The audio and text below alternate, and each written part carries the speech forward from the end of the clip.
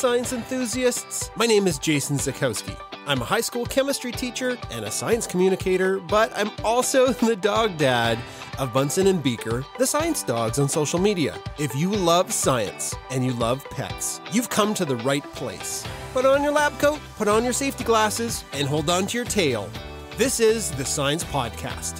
Hello, everybody. Welcome back to the Science Pawdcast. We hope you're happy and healthy out there. So exciting. As podcasts do, you may be listening to this months after the recording, but the pre sale for Bunsen 2.0 and Text from Bunsen went live to the general public. It had a little bit of glitches. We've worked them all out. Um, and we're really excited that we're almost at the pre-sale goal to get this going to get bunsen 2.0 this giant stuffy of bunsen that is adorable um, as well as work on the audiobook and the ebook for text from bunsen. I can't tell you how excited chris and i are and how happy and how grateful we are for the community that wants the bunsen stuff and the text from bunsen stuff. It's so great. As mentioned in the weekly newsletter chris and i are in the busy season for teaching The end of May and the middle of June. The next three weeks is super busy as classroom teachers in Alberta, Canada. Curriculum needs to get done. Final exams are coming up. All of the final marks are due and report card comments and planning for next year. So it's very, very, very busy. So you might see, you might see the odd dip in Bunsen and Beaker content, uh, but we are trudging through to get all the science empathy and cuteness to you. Adam started marching season. Um, if you're part of private Twitter, we're posting more family stuff there. So, some videos of Adam playing in marching band. He had his first parade and it was super good. Okay, on to the show for this week. In science news, we're going to take a look at how parasites shape plant growth. How? What? It's such a cool study. In pet science, there is a Finnish study that looked at COVID sniffing dogs, and uh, the results are amazing. Our guest in Ask an Expert is astrophysicist and science communicator Dr. Parshati Patel, who's going to wow us with some stuff about space and the importance of putting that information in bite sized packets for the public. Hey, dogs, what happens if you get fourth place in a space race? Well, you're awarded a constellation prize. oh, that's a bad one. Okay, I'm with the show because there's no time like science time. This week in science news, we're going to chat about parasites and how they can control plant growth.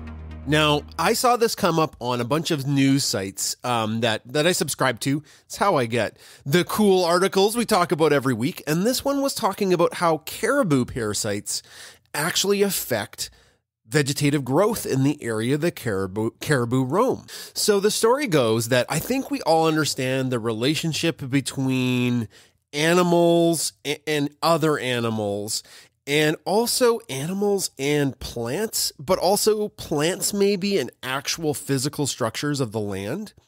So there was a really cool uh, study where they reintroduced wolves, and those wolves brought down the prey species and the prey species because their numbers were lower they didn't eat the riverbank kind of like leaves as much which actually affected the shade which affected the fish which actually affected the entire path of the river. So it's kind of like the butterfly flaps its wings in Canada, and if you are someplace else in the world, you feel it some other way. It's kind of like this ecosystem ripple effect. Now, a story for another time that wolf story that we all know, how the wolves changed the flow of the river. In recent years, that has been heavily criticized and or debunked as being overly simplified and even romanticized about the power a prey species has to change the the course of a river. So there are ripple effects, but maybe not that strong. Now, what hasn't been really studied that much is how parasites may affect plant growth. Now, there's a good case study that this this study built upon that looked at buffalo and cattle. Uh, it was in Africa, sub sub-Saharan Africa, where this this virus called rinderpest virus. Anyways, it made these animals super sick and took out great swaths of them in the 19th century. Um, and because there wasn't as many buffalo and cattle and antelope, the vegetative growth in that area went bananas. They found a vaccine for the rinderpest virus, uh, vaccinated the the animals, and, and that led to the vegetative growth being trimmed back and a whole bunch of other landscape changes. You know, you don't have as much you don't have as much uh, grass, you're more prone to erosion, so it changes topographical areas of the earth. Now, this rinderpest thing was pretty fatal, so wiped out a whole bunch of them, killed them. Most parasites don't like to kill their host, right? Because if you're a parasite, you don't want to kill your sugar daddy, so to speak.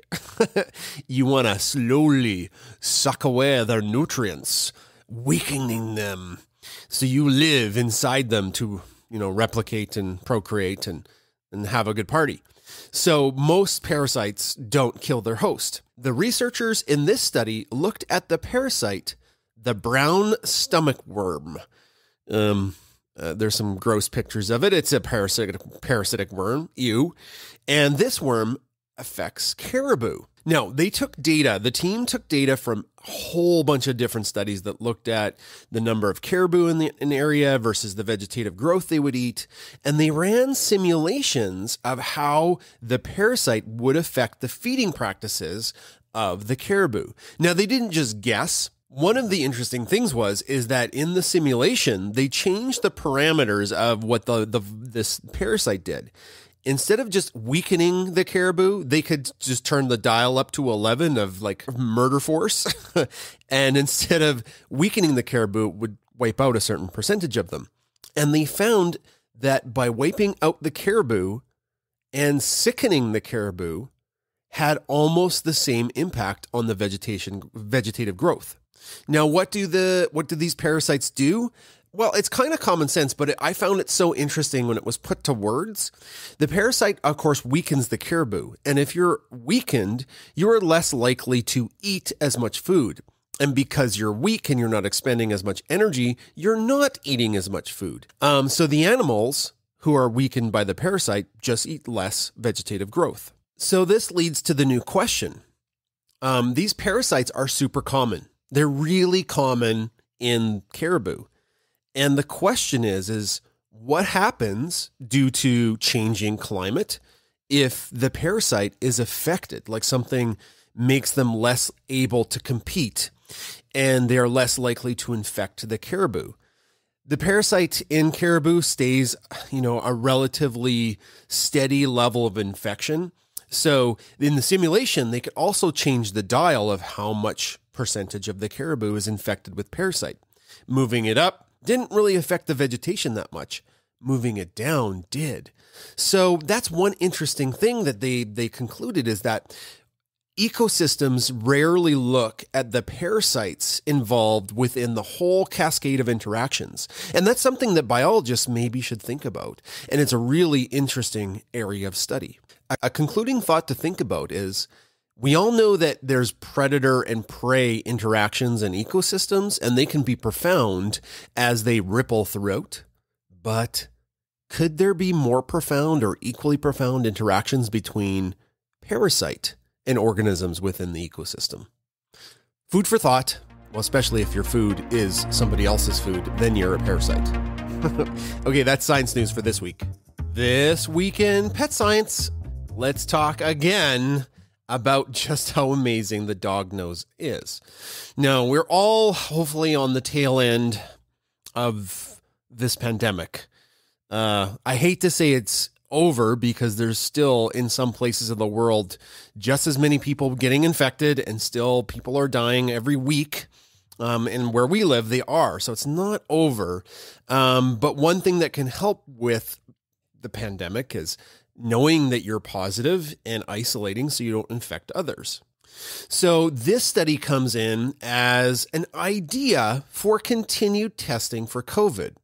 The PCR tests are slow and it's tough to test everybody at once. Our province was testing everybody with those PCR tests. And when the infection levels were really high and everybody was getting tested, like we weren't knowing our PCR test for a day or two. And in that time, you could be out and about infecting people, or you could just be twiddling your thumbs waiting. And then there's the at home tests that we have, and they're not as accurate as PCR.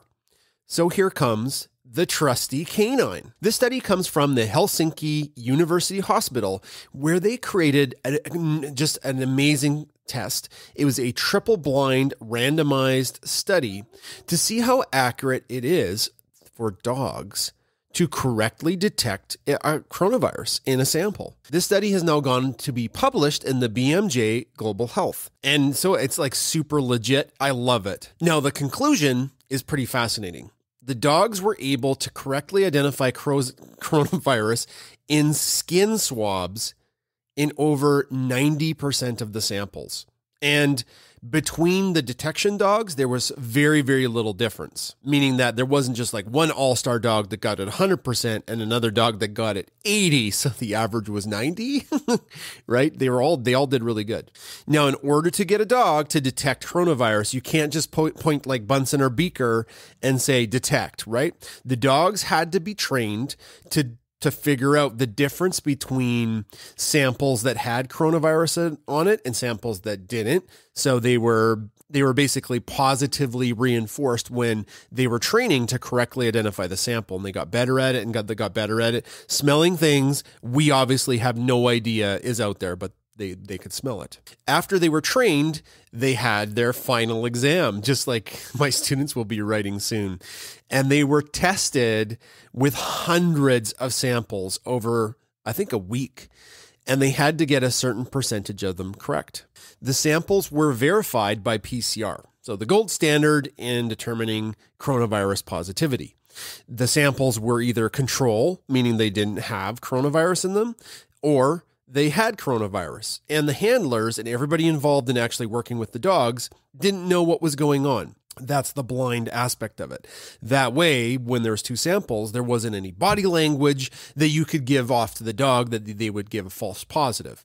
And the dogs in their final exam scored 92%. So 92% of the time, they correctly identified a coronavirus sample versus a placebo sample. Now, here's the fun part. So that's testing in the lab. Now it's time to go test people. Now, did they test people who were in a lab? Nope. They went to the airport. they took these dogs to the airport for a real life situation. And as people were milling about coming coming on and off planes getting swabs, the dogs gave a little sniff. And the dogs did so good at detecting negative samples. Just about 99%. Now, I've heard and I've read different accuracies of those quick antigen tests, like the at home ones, and they ain't above 90%. I'll tell you straight up. Now, the PCR tests are pretty good. You know, if the dogs in the lab got about 92%, the PCR tests are better. They're closer to 98 or something like that, 98%. But all it takes is the dog to smell your skin and they know you have coronavirus or not. So it's a little bit faster. It's mobile. And I think if I tested positive because a dog sniffed me rather than somebody jabbing a thing up my nose, I'd be I'd have a I'd be more okay with it. I was like, "Oh, at least I got to see a dog today." More evidence that that dog knows is so incredible. That's pet science for this week. Hello, everybody. The Science Pawdcast will always be free to download and listen to. You'll never have to worry about paying for it. But we have some amazing ways that you can help us out with running the show. The first one is to think about becoming a patron on Patreon. And we call our patrons now the Paw Pack. There's a whole bunch of awesome perks and different tiers of support. We also have a very detailed and excellent merch store.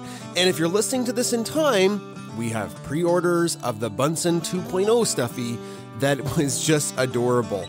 Um, you can check it out. There's also the Beaker stuffy on our store and a whole bunch of comfy clothes. The third thing you can do is give us a good rating. Rate the podcast wherever you're listening to this. We'd love to get a great rating from you. Okay, back to the show. It's time for Ask an Expert on the Science Pawdcast. And I have Dr. Parshati Patel, astrophysicist and science communicator with me today. How are you doing, Parshati? I'm doing great. How are you? I'm good. I'm good. Um, Where where are you calling into the podcast from? Where are you in the world? I am based in London, Ontario, Canada. Ooh, so okay, all right. the location we call, you know, we call ourselves halfway between Toronto and Detroit. oh, right. Yeah, yeah, yeah. Now, um, are have you lived in the Ontario region there for for most of your life, or are you here for your job slash you know career? Yeah, so I actually moved to Canada um, to pursue an undergraduate in astronomy, and Mhm. this was back in 2006, quite a while ago. And Right. since then, so I, I moved to Toronto first. I lived there for four years when I was doing my undergrad, but then I moved to London, Ontario to do my master's and my PhD, and then I just stuck around here. S- stuck around. What? Where did you move from, if you don't mind me asking? Yeah, I'm originally from uh, Ahmedabad, the Gujarat in India. So it's it's um, you know it's not very large city. That's probably why I like London. Mhm. um, but Okay. it's it's you know still way bigger than London. Um, I grew up there. I did my uh, you know schooling there, and then two years of undergrad before I actually um, came to Canada. Now, did your family come with you? Was it just you, or is most of your family back in India? No, so I actually came by myself. I was pretty. Oh my young. goodness, you're so brave. I, I I don't know what I was thinking. I guess I wasn't actually thinking. I was just like so passionate about wanting to study astronomy. I just decided no, I have to like go for it if this is like what I want. And um, I I moved alone by you know by myself here. I had family friends who you know helped me through. Uh, but even right now, my parents still live back home in India. Um, my brother does live here in Canada now, but uh, most of my family has been back home most of my life here in Canada. Was the first winter a bit of a shock? Yeah, I think it was it was shock, but it was also exciting because you Oh. know I come from Ahmedabad where winters like now it obviously has changed because of the the climate change, but back in the day growing up, like winters like ten degrees would be like oh my god, it's like this once in a decade kind of thing, like you know pretty cold. That's kind of the weather I come from, and you know in in summer it's like forty degrees there, so. I was pretty excited to see the snow, have it like around. Obviously, after the first winter, I was like, well, yeah, after a couple of days, it just it gets old. That is so funny. Um, you know, that's not not to generalize, but a lot of the scientists I've talked to that have moved to Canada from warmer countries, they all say that we're so excited for the snow, and then after they experience it, they're like, ah, you know, eh, winter's kind of winter's kind of overrated. and you know what? I- I most love- most Canadians feel that way too.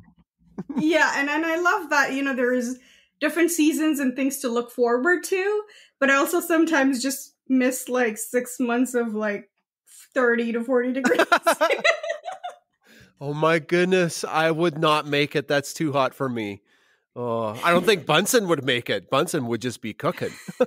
yeah yeah it's super hot out there but i think one of the things that i do do miss um you know now that i'm like into looking up at the night sky and things like that like back home it would have been much easier obviously that's not the Mm. case now because of climate Yeah. change it's raining all the time instead of us having like a monsoon season you know um but I, I wish i had known that you know i should be looking up to the sky earlier because then most of the year it's clear like there's no rain or clouds you know clogging your your view of the night sky but over here in canada like most of our winters are just you know i mean i live in, in london which again is in a snowbelt region so most of the time we're surrounded by clouds and lots of snow yeah.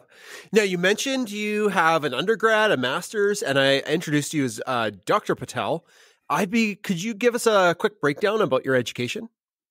Yeah, so I um I actually uh you know and, and as I mentioned earlier I started actually with an undergrad in physics um in in India. I started uh you know doing my bachelor's of science there uh, and I was I was doing it in physics but I wasn't really satisfied because I really wanted to study astronomy and that was not something that was offered there and you know the we places that did have it um you know the seats were so uh, little in terms of the amount of people who were interested in that subject, I knew that I would have never gotten into it uh, if it wasn't until like my master's, my PhD. And so I decided to move halfway across the world uh, to pursue a bachelor's in, in astronomy. And, and uh, I did, you know, I came to University of Toronto and then I realized being like, oh my God, being an international student is very different, uh, you know, in terms of, you know, opportunities and scholarships and things like that you could have. So I decided to still continue doing my physics uh, undergraduate. Uh, so I have a bachelor's in physics and astronomy. Um, and then uh, I knew that I wanted to continue you know to into research and and i decided that uh, I, I wanted to stay in canada because at that point I could have gone to other countries, you know, US or other places. But uh, I liked Canada enough that I was like, no, no, I want to stay here. And so I was able to um, actually move to Western University or the University of Western Ontario uh, here in London, Ontario, and uh, continue with my uh, master's in astronomy, but with a specialization in planetary science and then also uh, continued to just stay there because I loved working with my supervisors. Um, I just stayed there for my PhD, doing the same thing in terms of you know doing again um, master or sorry uh, phd in astronomy but with a specialization in planetary science as hmm. well hmm. so that's kind of the trajectory i took it's a little bit longer than what normally people would have but you know opportunities came at certain times and i just hopped onto them so, okay, you were studying physics and then you really wanted to do astronomy. What was it? What was the thing that made you switch it into that gear? Like what what clicked for you? Yeah, so and it was actually, you know, I was very young. I was a teenager when I um when I learned that um I I really liked space. I just was mm-hmm. drawn to it uh, in terms of the amount of unanswered questions, just just plain being like, are we alone? Or, oh my God, there's so many things out there that we don't know about. And so I always had it at the back of my mind. And even in high school, like I remember always telling my teachers and my friends that I wanted to study astronomy. Um, but what it really kicked into high gear was the fact that you know my aunt who lived here in Canada she visited um and during one of the vacations and she brought me a small telescope. Oh my and goodness yeah, it's and it was it was small. It wasn't like anything really big, but it was good enough to see, you know, the planets. I could see Saturn's rings on it. Oh my um, goodness. Um, Jupiter and, you know, Venus and the moon. And once like it took me a while. I remember setting it up on my terrace and it took me a while to get it set up. And when it did, and I just like, I was screaming and went to my mom downstairs and be like, you should come up, you know, you should see there's Saturn's rings, you know, you can see it from the telescope. Um, I kind of knew at that time that that is something that I wanted to do. Obviously, did not know that just looking up at the night sky is not a job you can do. um, but I just was really fascinated with the fact that, you know, just a small telescope could allow you to see something that is so far and something that is, you know, like a planet. It's like, it's a planet, but it's very different than us, right? So mm-hmm. those kinds of just simple things made me want to study astronomy because it was something that I could see. So I always loved stars and planets because that was something that was kind of visible to me in the night sky and it's something that I could connect to. Um, but then when I came here, I realized, oh my God, there's so many other things in astronomy you can do. uh, I still stuck to, you know, studying planets and stars just because of that initial, um, my curiosity kind of stemmed from just looking up uh, and looking at the stars and looking yeah. at the at the planets. So, on a scale of one to ten, how excited you are you about the first pictures back from James Webb? Fifteen. yeah, it's off the charts. oh um, wow! Yeah, it it is. Like you know, as as someone who studied stars and how they form, and the fact that James Webb is going to you know give us it's going to be studying galaxies which are further away back in time but it's also going to be studying planets and stars I and know. Oh my goodness That's what's most exciting about it to me at least. I don't have a, a phd in astrophysics but i some some nights I can't get to sleep because just personally I'm so excited about what this the Webb telescope is going to send back. So I can't imagine somebody like you in your position, like groundbreaking stuff is coming, which is so exciting. Yeah, and I think it's it's it has been uh, in making for so long that mm. I think mm. Mm-hmm. people mm-hmm. are just. I think the excitement is tenfold than what would it would have been if it had launched just like the initial time frame or you know without any hiccups but also at the same time it comes at like such a great time where we've started to look at the universe in many different ways it's not just looking at it we're listening to it now too right so mm. it's it's like this era uh, and it's a perfect time to be looking forward to something too you know in this pandemic um, yeah something get excited yeah. I know something to give us hope. yeah, yeah. You work with planetary science. And to get your PhD, you obviously have to do some research. I would kick myself if I didn't ask you what that was. What did you do with planetary science? Yeah, so I um uh, initially I'll start back in my undergraduate. So you know I was always fascinated with uh, with planets and stars and how they form. Um, kind of, you know, coming from that idea of like, you know, we're able to see the other planets, you know, in our solar system, we have so many. So I was always curious about that. And, you know, and in my undergraduate class, I actually had an opportunity to do uh, research on, you know, these disks that are basically around a star when it forms. These are, you know, material that are left over that the star didn't, um, uh, you know, it didn't fall onto the star to become a star, but it came with it as it was forming from the region because they, they form in these areas called star forming regions. And this material comes with it as the star is forming. And eventually, this is where like all the planets form. And I studied uh, I was so interested, I actually went and looked for someone who studied that. And I had an opportunity to do research in, in understanding, you know, um, how planets as they're forming move around in the disk. And, and I got really, really intrigued by how these disks work around stars and how, you know, what kind of impact they have on the stars that form, on the planets that form. So when I was looking for my, uh, you know, master's, my PhD uh, projects, I was really looking for something that had to do with the disks and it's it's interesting how it went from like stars and planets to just being the combination of the two and trying to like understand you know how a they both form from this material that is in the star forming region to you know um all the way to how they interact and you know form kind of simultaneously sometimes.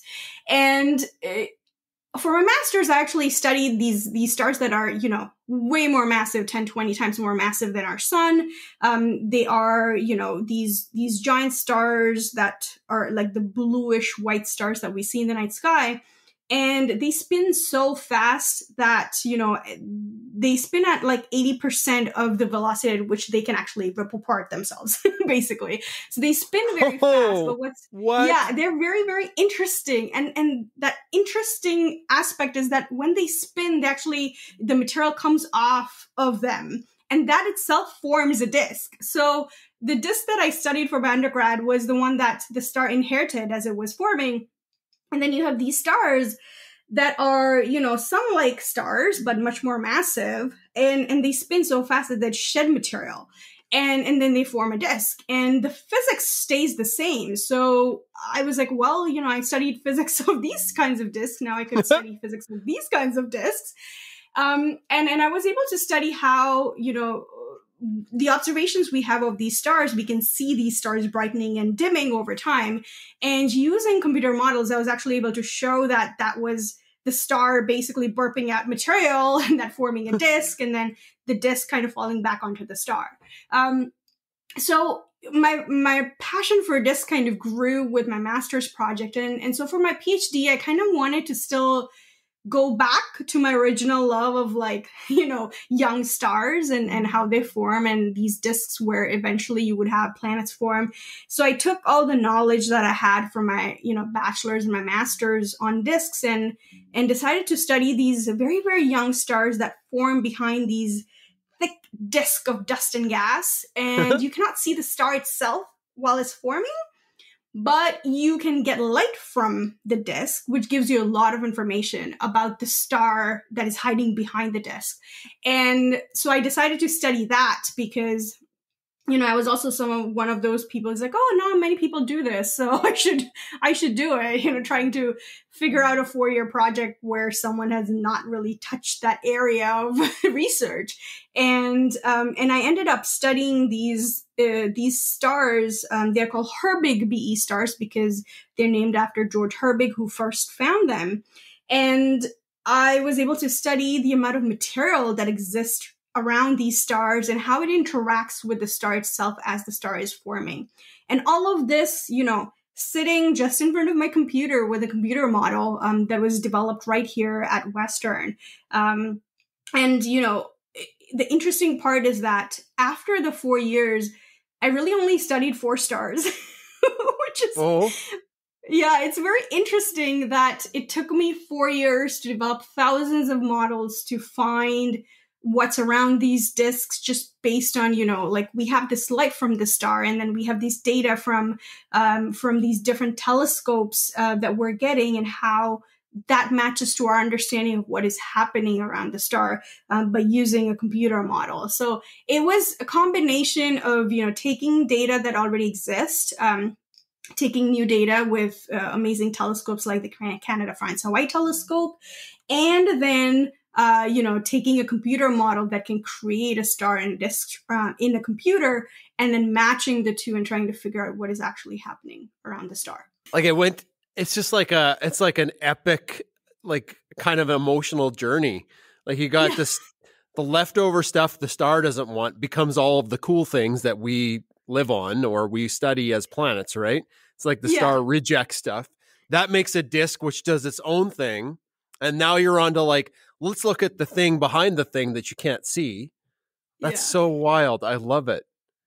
Definitely uh, a roller coaster. yeah. did, you find anything interesting? Like, was there anything shocking, or was there anything like, "Wow, did we did now we know something we didn't before"? Yeah, I think one of the things that I guess I, I don't know if I could call that, but like a legacy of the project is was that you know initially what people were doing were they were using the models that we apply for stars like our sun and like i said before these stars that i was studying are much more massive than our than our sun. And the these stars are so interesting that when you change the mass, you change a lot of things around them.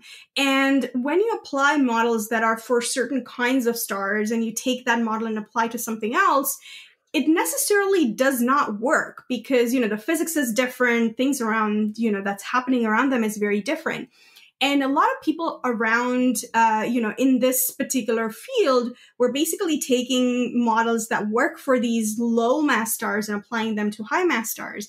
And we came in and we said you know let's forget about the models that exist. Let's start with a very very simple model of how these stars work and you know what physics happens and let's start from there and we were able to show that you don't need complicated physics that happens around the young you know low mass stars.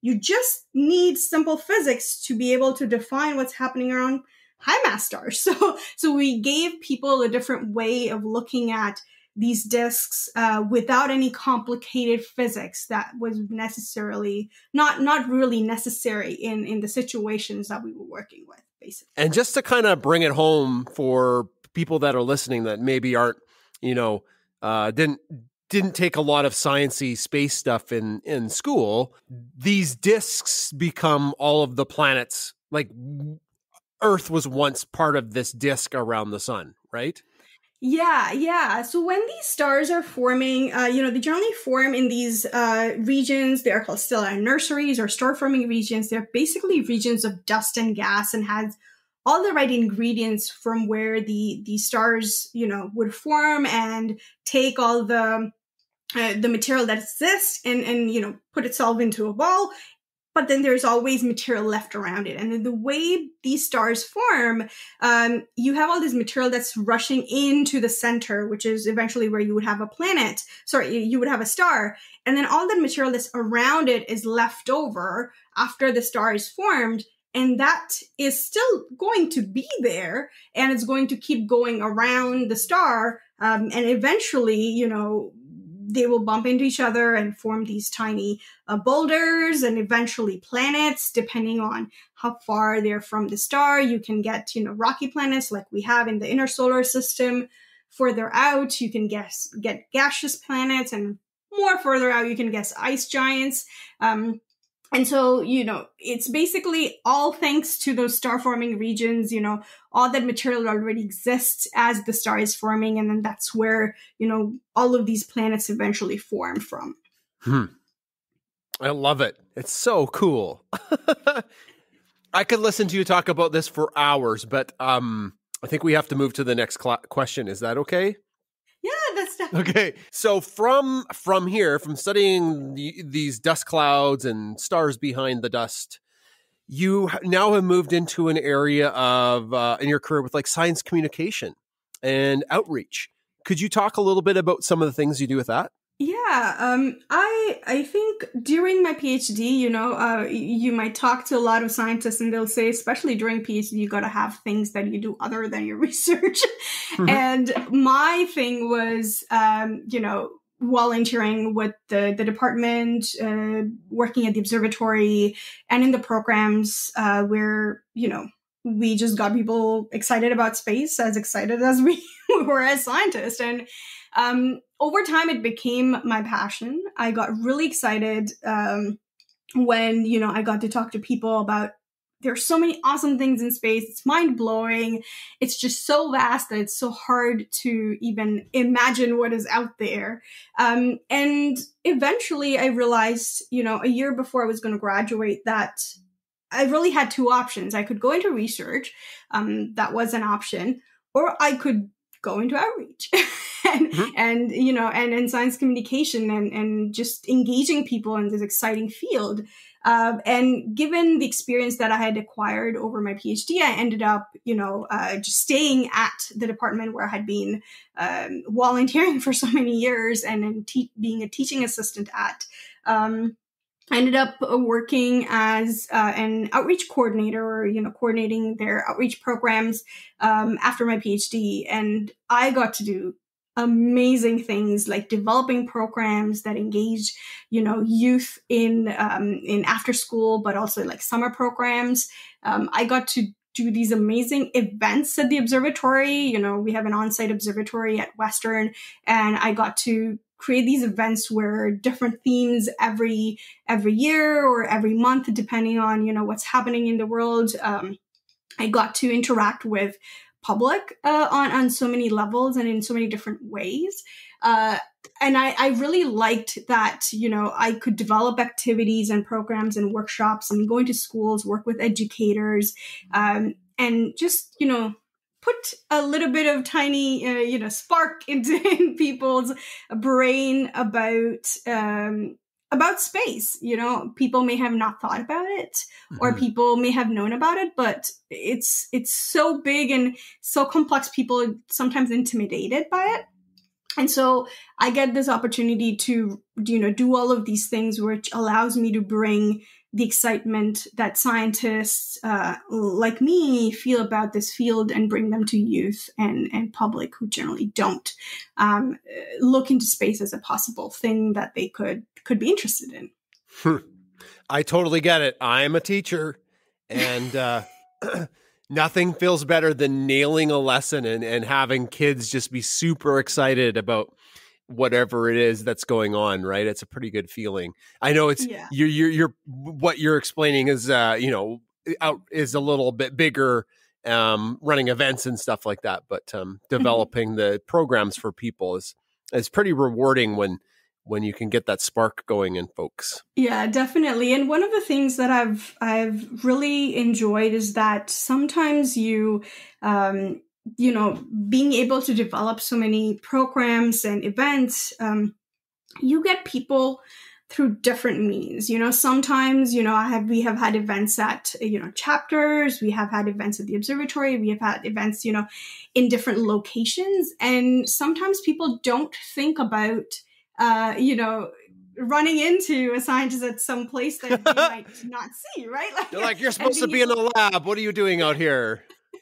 Yeah and like you know and, and, just being able to ask your question you know uh, that burning question you had about space and you just like walk into chapters and hey here is a scientist ask ask the scientist a question. That's and, cool. and yeah just get getting you know going to places where people are and talking to them about things that they didn't think they would talk about on that day i think uh, i find that really exciting to be to be able to do that on everyday basis Yeah. You're just there to, you know, get your book and get your Starbucks and now there's somebody talking about planets. What mm-hmm, a good mm-hmm. deal. Yeah. That's a that's a good deal. yeah. Well, thanks for sharing that about your uh, your outreach and your science communication. That's really cool. Another thing that you're involved with that I'd love for you to talk about is women of color in STEAM. Could you talk to us about it?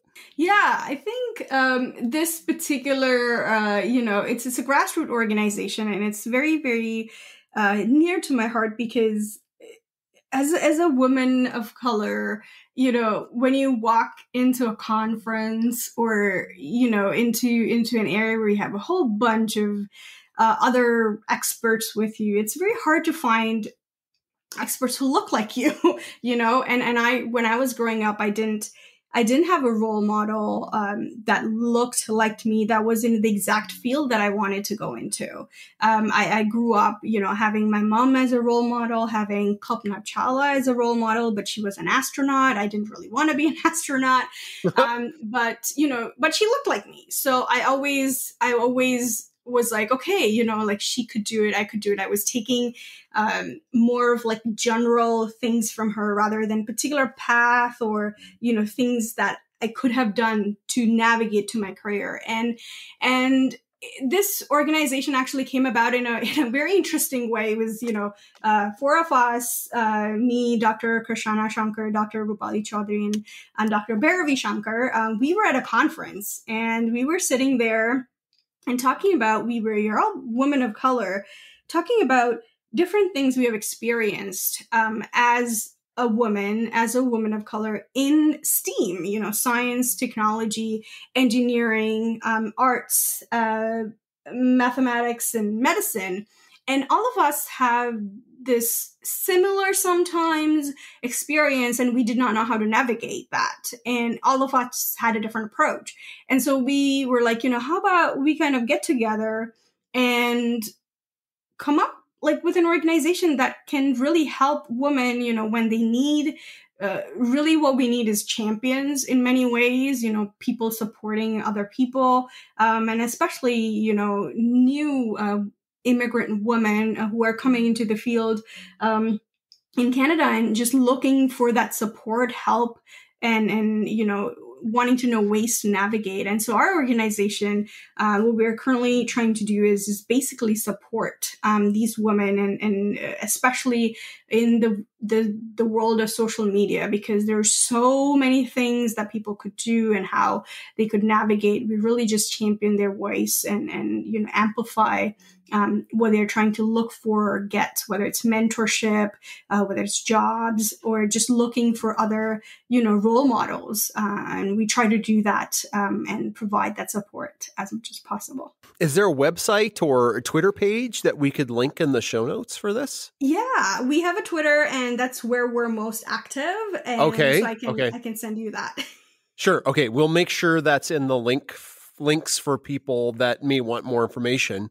Um, mm-hmm. So they can just, you know, it'll be hyperlink and they can just click right to it. Yeah, that would be awesome. Well, I appreciate you talking about that. Um, I know I, I'm not a woman of color, uh, but but I do have young girls in my chemistry class, and they, you know, like I do show the guests that are on my podcast uh, every time that, that that the episode comes out with their them on it, and it is cool to see they they key in on it. They're like, that's somebody that looks like me, you know, um, in that yeah. job. And it's representation really matters. Yeah, I think it's something that I did not recognize when I was young either. And I didn't clue in on these things until like later when talking to other women of hmm. color in the field, right? So it's it's something um, that is to me now much more, uh, you know, something that I recognize hmm. very often, but it's not something that is very evident to a lot of people, um, except to those that you know, real, to those who go through this. Well, yeah, like when I was a kid, if I wanted to go into science, I, like everybody was a white dude in science. Like I, eh, like that was what they looked like to me. So, you know, as I had like Carl Sagan was on the TV, you know, so. yeah. Uh, we have a couple standard questions that we ask on the podcast, which are kind of fun. We we get to know our guest in a little different way than maybe other shows. I don't know. We were talking about that before before we started. And uh, one of the questions we ask our guests to share is a pet story from their life. Um, mm-hmm. Do you mm-hmm. have a pet story you could share with us? Yeah, I actually do. I was, um, you know, I currently don't have pets, which I'm very, uh, you know, not really happy about. But um, when I was growing up uh, back home in India, um, my dad's friend, he was moving to United States, and he was, you know, he had a parrot named Snoopy. Um, and he's like, "Oh, I don't know what I'm going to do with him." yeah. And uh, and my dad is like, "Oh, we'll take him."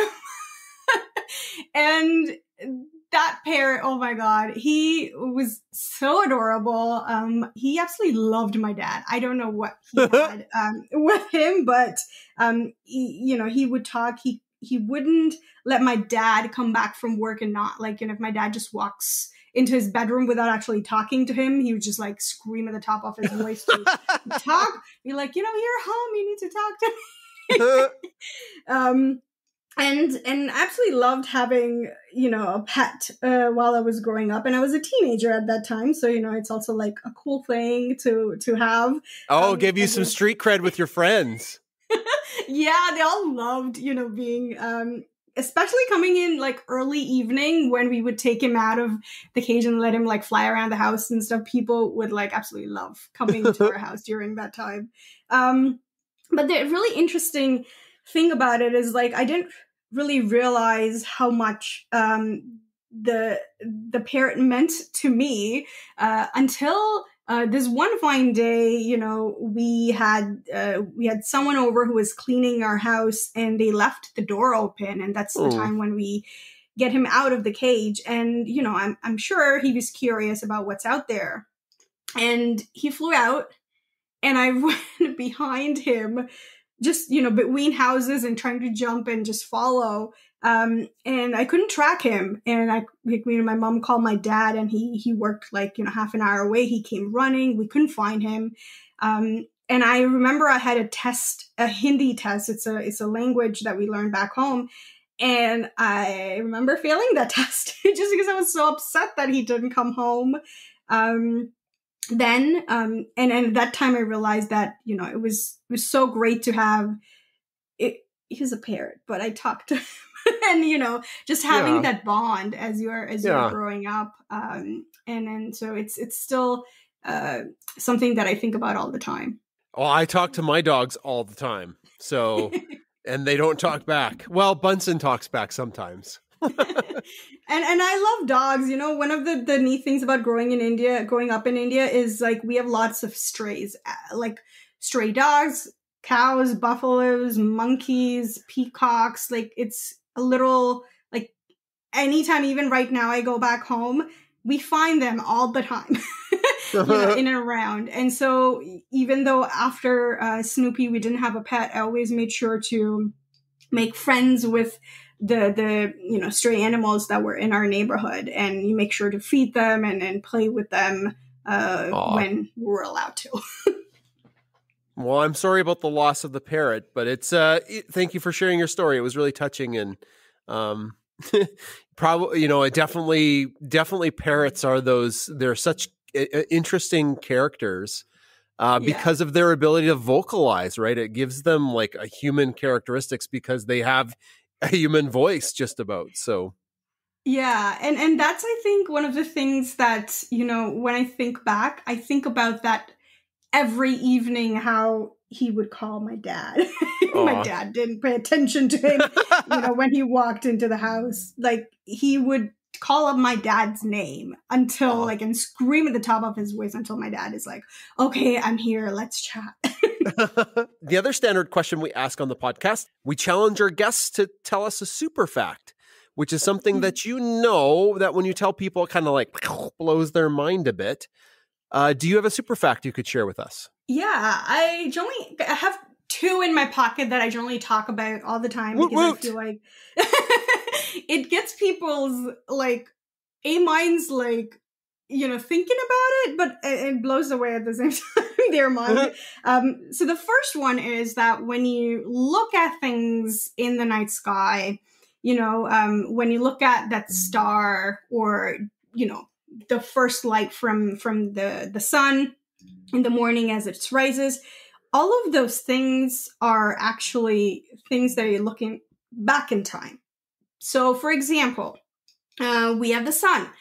Sun is at a particular distance away from earth and light actually travels at a constant speed and so it takes approximately eight minutes for the light that we're seeing now to come from the sun. So what you're seeing now is the light that you that was, you know, that came from the sun 8 minutes ago. So it was like, you know, you're looking back 8 minutes.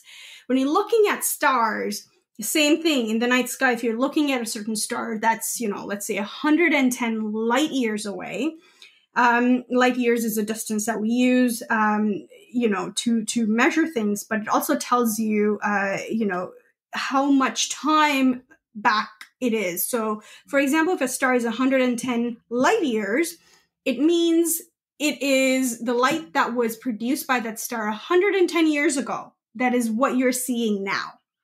Okay, so uh, if you're looking at galaxies that are, let's say, 100 million years, uh, you know, uh, back in time, you're you're looking at things that already happened. You know, the star you're looking at right now that you're seeing the light may not even exist right now and that I think is just you know people talk about traveling back in time, and I'm like you don't need to. You just look up and you are already looking at things that existed before that you're seeing now and may not even exist right now. Huh. And and so that's something that I know that always blows people's minds. that is that's wild.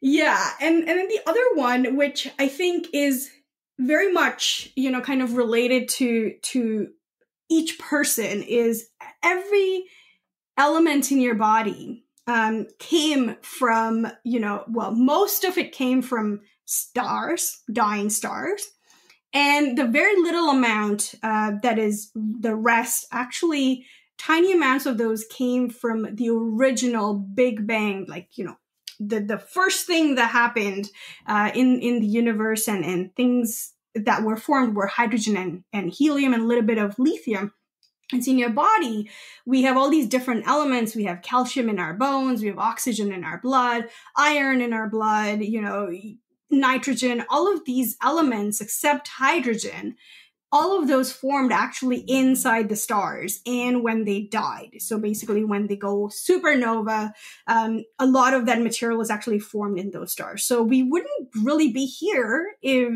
the stars before us um, wouldn't have gone through their cycle and shedded all their material into the universe. And then eventually, after many generations, our sun formed. And in that disk that is around the star, you get all of these elements that were shedded off from from these these dead stars and that are not part of earth and all of these planets and moons and you know asteroids and everything that we see in our solar system but also every living thing on earth has material in them that was formed in these stars so again that's something that i find that is mind blowing I think it's just so wild. Like everything about space just blows my mind. yeah Like uh, somebody said, told me the other day, or I read it, that aliens looking at us, if they're too far away, if they have really good technology, would see dinosaurs or maybe no life Mhm. on Earth because the light from Earth would have taken that long to get to them. Yeah. Um, and it's kind of similar for us too, right? If you flip it the other way too, if you're looking for life, and you're trying to look at a planet, you're looking back in time um, for that planet. So they might already have life now, but we're only seeing light that came, you know, depending on how far they have the the planet is. So it's it's so very interesting. Mm. The universe is complex, interesting, and marvelous all in the same same page, you know. You know what? That's why I'm glad I'm talking to somebody like you, Doc. We need people like you to kind of parse that out and make it understandable to the public. So, yeah, those are great super facts. Thank you. so, the last question of the podcast is the important to you question.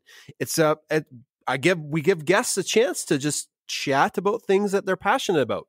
Some guests talk about causes, yeah. some talk about hobbies. Yeah. What uh, what did you want to talk about? I think uh, one of my hobbies that has kind of become my passion, you know, similar to you know, I do science communication all the time, but I talk a lot about space and and and something that I, I didn't do often as I was growing up was actually looking up at the sky. Um, you know, I had that teeny telescope when I was a teenager, but now um, living in Canada, you know, the nights that are clear and further away from from the city, um, I have developed this passion for actually capturing the night sky, uh, and, mm. and, I'm hmm. still learning. It's it's still like you know I'm an amateur um, astrophotographer, uh, trying to capture you know what we see like the Milky Way, the constellations, and how the fact that you know the cities and the light from the cities is actually hindering our vision of what beauty we have in the night sky. Um, for example, I live in London, Ontario. It's it's a city. I need to drive at least forty five minutes, if not an hour, outside the city, to be able to observe, you know, the Milky Way with with my eyes without actually, you know, using any any cameras or anything like that. And the more you know more urbanization happens, the more we're losing the night sky to the light. Even now, when I go onto the lake to, you know, um, to look at the night sky, I see light from faraway cities and towns that basically hinders our vision of the night sky. And it's the more this keeps happening, the more we are losing. And a lot of students and kids don't have that opportunity to actually drive out somewhere or go camping. And a lot of people have actually not seen Milky Way, mm-hmm. even though, you know, it's it's something that you can see in the night sky. Only thing is, you know, if you're living in the city, there's a lot of light pollution. So I try and capture as much as I can on my camera and share it with people to to see you know i always start when i go to classrooms or or i'm working um, you know talking to public i always start with an image that i've captured right here in southwestern ontario and ask people how many of you have seen a sky like this hmm. and most of the time maybe you have a, hand up or maybe couple you know um, who have had an opportunity to go camping and look up um, but most of the time most of the people have not and it is sad because it is yeah. something that's available for free, you know?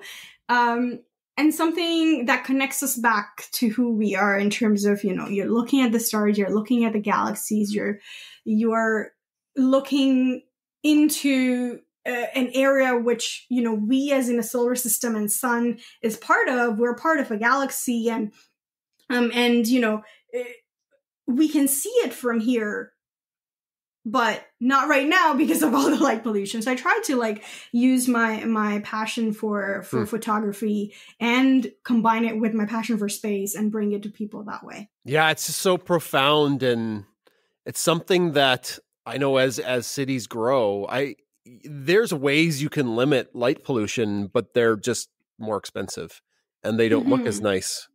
So it's gonna it's gonna take more education of the public. I think I know Jasper in Alberta, where I live. Jasper mm-hmm. is a dark light, uh, dark night preserve. So it's yes. like it's all of their lights are angled down. They have mm-hmm. shields around them, and uh, it's like you very little light pollution comes from Jasper when you're out there, which is kind of cool.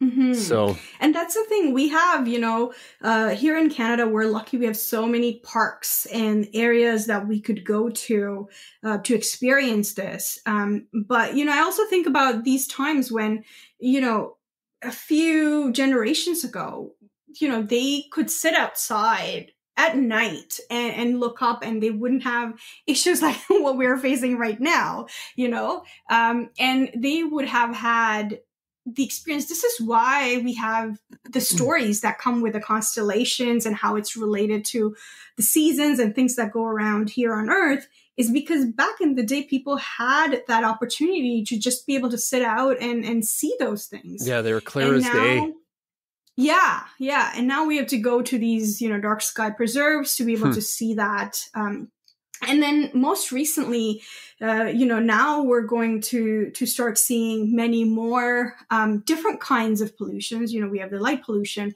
but now we are going to have more and more satellites that are going to be launched. You know, that are going to be in low Earth orbit, which means as an astrophotographer, when I'm taking pictures of the night sky, I'm now going to have these streaks of these satellites that are going to be hindering my view of, of, the of the uh, the universe. Uh, and so it's it's it's a problem we have to solve but you know if, if i just say if listeners if you guys have an opportunity to just maybe take a day or if you have an opportunity to go camping just just try you know look up uh, if it's clear. Um, it is something that is very different than what you would see in cities. You can easily mm-hmm. recognize constellations in the cities when you start going to darker areas you it's going to be hard for you to recognize the constellations that you did in the city.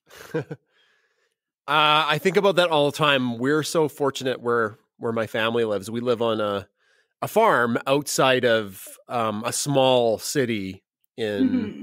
Alberta, and there is light pollution from the city. Definitely more now than there was a decade ago, but we mm-hmm. still have like dark skies and That's and not everybody gets that and, and and then you think about like from the big cities you have low income families that the kids yeah. just don't get to experience that unless they get help from a system like a school system taking them on a field trip or something so exactly yeah and that's that is something that i've noticed more um that you know people eh, people are starting to recognize that there are these you know inequalities where people mm-hmm. some people have access some people who do have opportunities to go to these places they can do it but others don't and then you miss out on maybe igniting that spark in there that you go yeah that's it who might get excited about space just by having seen the Milky Way once with their naked eyes. Oh man, every time I see the northern lights at our place, like it just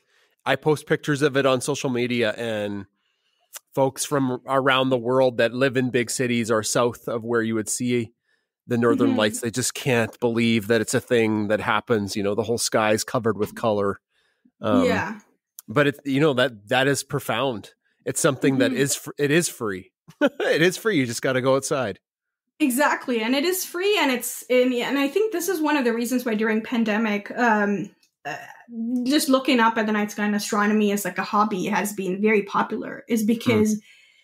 it, it is free. Um, you know, you can go and buy telescope if you want, but you don't need to, you know, um, and you can do so many things just by looking at the moon, looking at the planets, constellations. And, you know, if you're lucky enough to be able to see the northern lights as well, it's, it's one of my bucket list items is to is to look at the yeah. northern lights. And you're and, a little too south in London, I think. Well, so I I did I have seen northern lights once here oh. in in in just north of London in 2013.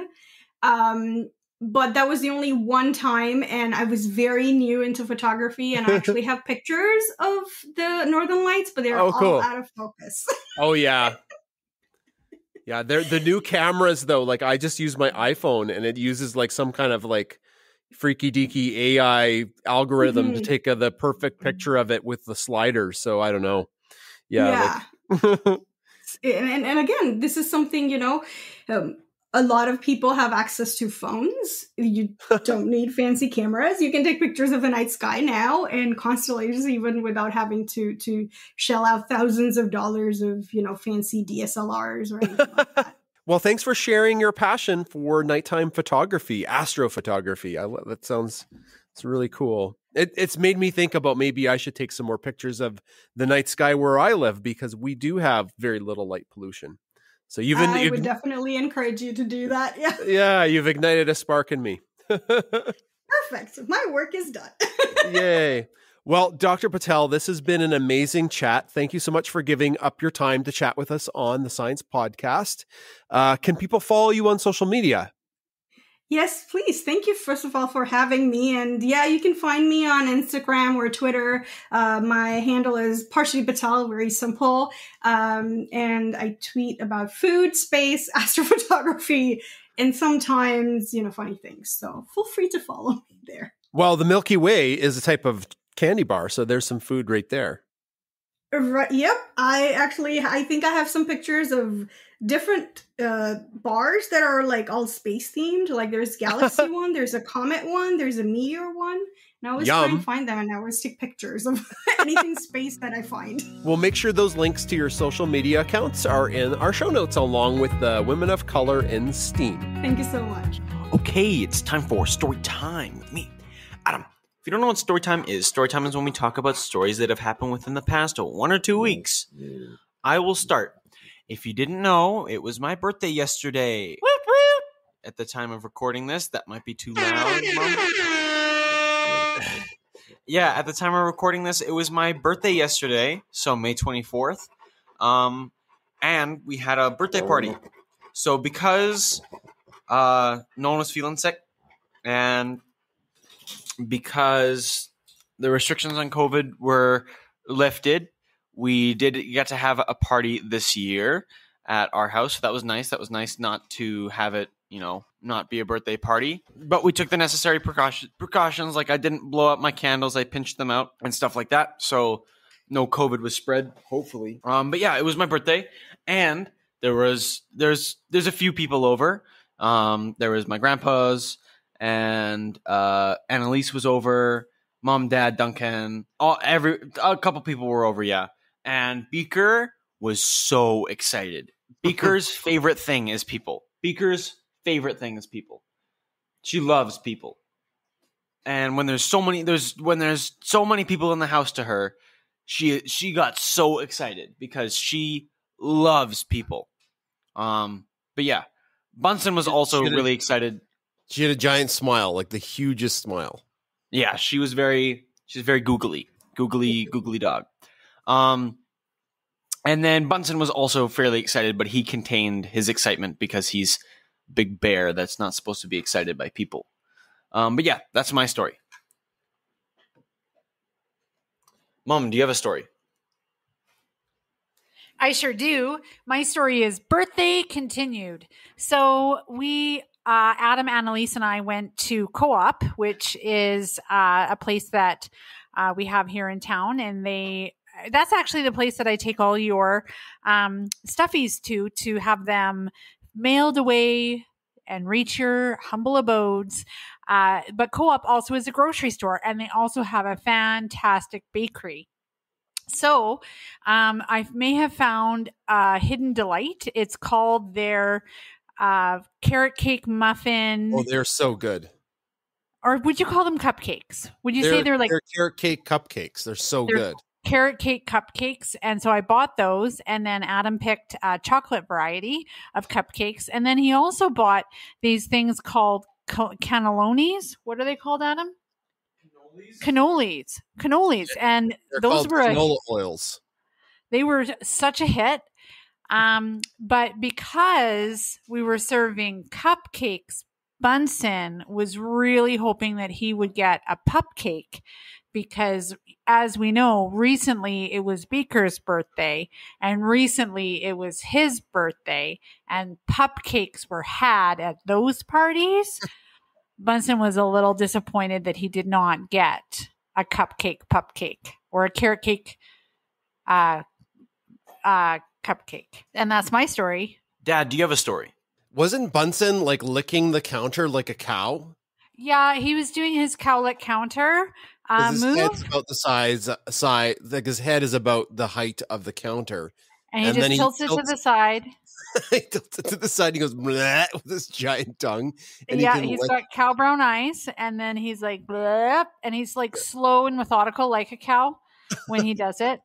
Yeah, yeah, he, was he won't that. jump up. He will not jump up, but his tongue will reach the counter. Bleh. Yeah. So my story is about Beaker and Ginger. Bunsen and Ginger get along great. Bunsen loves Ginger. Um, I think Bunsen's realized that Ginger is very indifferent to Bunsen's existence.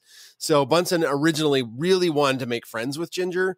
Um, and now they're just like they're buddies, but Bu- Bunsen has stopped kind of following her around and trying to, you know, trying to make friends with her. But Beaker, on the, other hand, the other day, Jason, I had Ginger, and I was trying to um, let Ginger go for a ride on Bunsen, okay, and Bunsen really was not do- having any of it. He just kept doing the butt turn, butt budge, turn away move. Yeah, well, he's probably seen what has happened in that's coming up in my story. So occasionally, Beaker and Ginger get into a scrap. Um, Beaker follows Ginger very closely. I don't know, maybe she's trying to herd Ginger. And then Ginger lets Beaker know she's way too close. She meows and hisses at her at her. Would And you say that? Would would you would you say that Beaker is like a woman driver, follows too close? Well, I'm not going to say anything sexist like that on the podcast. Adam always tells me I followed too close. Mom, why Okay. are you so close Well, to that maybe driver? that's just what Chris's do when they drive. But okay. Um, yeah. So eventually Ginger has enough and the fight is on. Turns around, swats Beaker in the nose, and for half second, Beaker is stunned because nothing moves as fast as a cat moves with attack. Because this is beyond the realm of things Beaker has ever had to experience. So after Beaker gets swats, then Beaker's like, that's it. And the fight's on. So Beaker growls and then tries to hit the cat with her paws and chases the cat. Um, the cat just runs away because it's faster than Beaker and way more agile, jumps up high. So that happens, I'd say once a day, Chris. There's a there's a bit of a, a scu- scuffle, but uh, yeah, but once you a know, day, once every two days. I don't know. But the, the funny thing is, is they they still like Ginger is not scared of Beaker. Ginger comes right back for more, and Beaker is not scared of Ginger, and this continues day on and day on. And then when it's time to sleep, they sleep next to each other. It's so weird. One night, two nights ago, they both slept side by side in our bed. I I was like, what is going on? And literally a half an hour ago, they had had a little fight, and Beaker's nose was bleeding from getting swatted. so I don't really get it. I know Ginger has no fear of Beaker because she just hide from Beaker all the time, but she doesn't. Runs away, jumps up high. Five minutes later, it's back to normal. So that's my story. that's a great story. Okay, well, that's the end of the. Uh, oh, that's the end of the story time. My section on this podcast. Uh, thank you so much for listening. Maybe next time we'll do the mailbag. Get, bring that back. Uh, maybe not. Who knows? That's the surprise. Um, but yeah, I'll see you guys next time. Bye bye. That's it for another Science Pawdcast episode. Thanks for coming back week after week to listen to our show. Special thanks to Dr. Parshati Patel, who talked to us all about space and initiatives in STEAM. We would also like to give a special shout out to the top tier members of the of the Paw Pack. Without their support, we wouldn't be able to do what we do. Take it away, Chris. Anne Schlarm, Sharon Dotson, Peggy McKeel, Chris Kelly, Samantha Dodd, Debbie Anderson, Courtney Proven, Renee Hardy, Mary Ryder, Shelby Leggett, Mary Coos, Marianne McNally, Karen Beth St. George, Bianca Hyde, Julie Smith, Andrew Lynn, Elizabeth Parmenter, Sandy Breimer, Tracy Halberg, Jenny Giger, Leela Periello, Lisa Swartz, Catherine Jordan, Donna Craig, Jody Ogren, Liz Button, Kathy Zerker,